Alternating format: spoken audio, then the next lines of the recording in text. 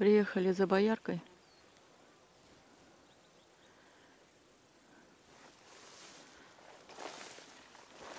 В общем, ползу по этой травище. Почему ее не скосили? Такая трава хорошая.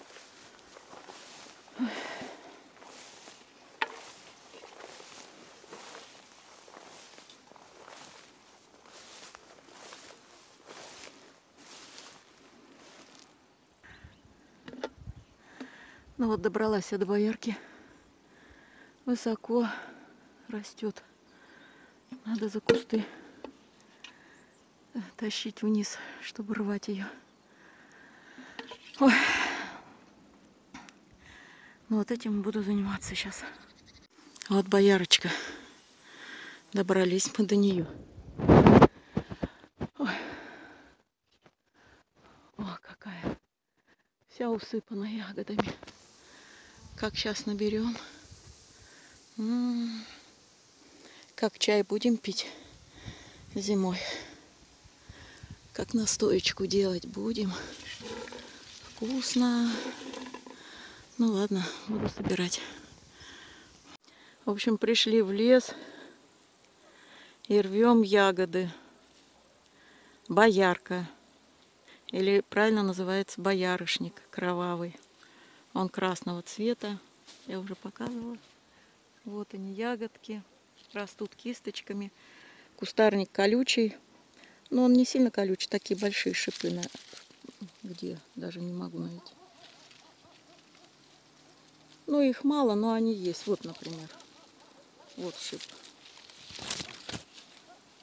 Но все равно они есть, конечно. Иногда так схватишься за куст, а там колючка. Вот, например, видите?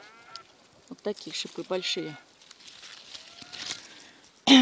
Сейчас нарвем, насушим, а зимой с, чай, с чайком заваривать. Ох, и вкусная ягодка. И очень полезная она, эта ягода. И вот столько здесь много. И сейчас вот, наверное, ведро нарвем. Домой поедем, а завтра еще приедем. Потому что эта ягода, она не каждый год хорошо такой урожай дает. Ну, как обычно, знаете, год на год не приходится, тем более у нас бывают майские заморозки, как раз когда она цветет.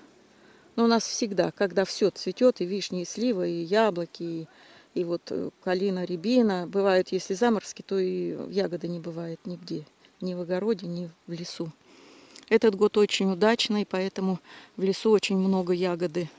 И рябины, и калины, и боярки. Вот пришла пора собирать боярку. Калина еще не созрела. Она поздно, ну почти до заморозков там надо ждать. Тогда она будет зрелая ягодка. Так же, как и рябина красная.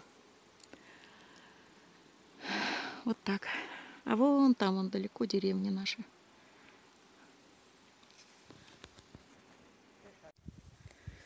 Вот собрали боярку. Сейчас домой поедем.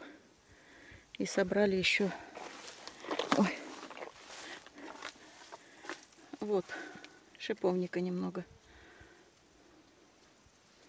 Сейчас приедем домой, посмотрим внимательнее, что мы набрали. Вот мы были в лесу, приехали.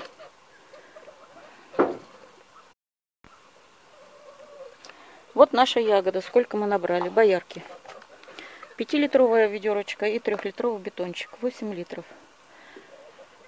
Сейчас буду мыть и сушить. Сушить буду в сушилке электрической, чтобы все это быстрее происходило.